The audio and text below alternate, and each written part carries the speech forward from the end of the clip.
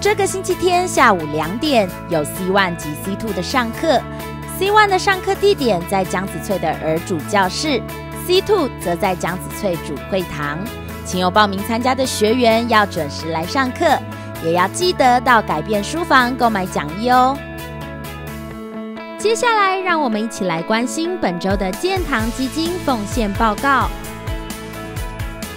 最后，这是本周的奉献统计。